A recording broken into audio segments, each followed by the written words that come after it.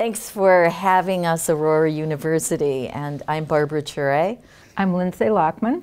And we are collaborative photographers, and we've been working together for over four decades on various projects that critique the societal landscape. These four images. From a body of work called Processed Views Surveying the Industrial Landscape. And they are landscapes made of processed foods that talk about the 10 major food groups of, or not major. 10 major industrial food groups.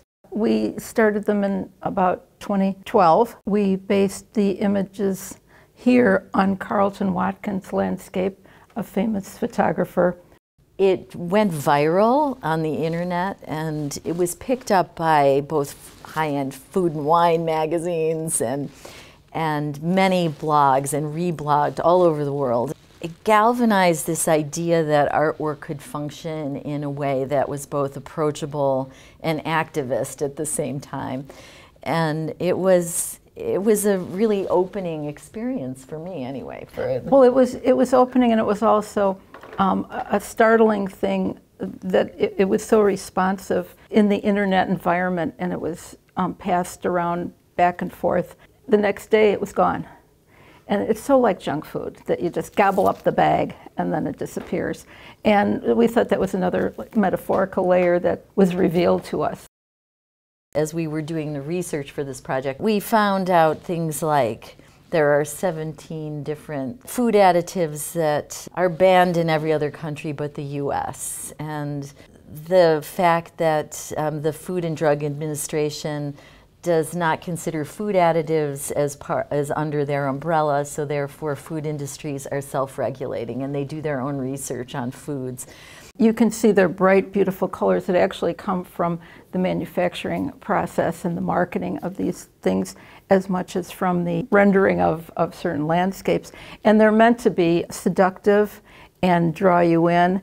And it, it's similar to the way Americans are so seduced by technology, but they don't understand the consequences that might come about from, from this wholehearted embrace of the chemistry and the scaling the industry for large markets.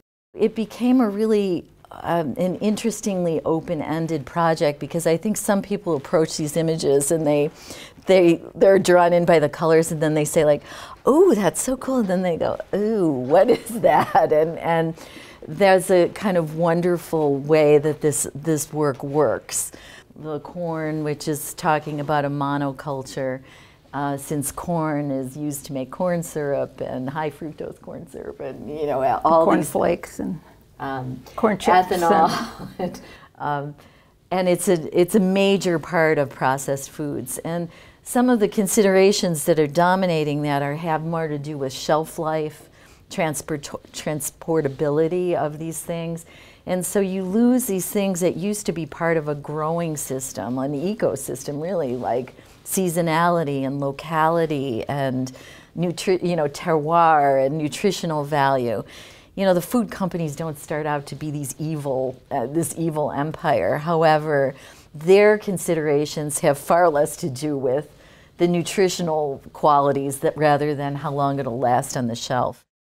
It's a cautionary tale. We're not saying ban, ban all uh, industrial food because the planet would not survive. But we also want the viewer to realize that you don't have to embrace technology without thinking about the consequences of, of your next latest invention.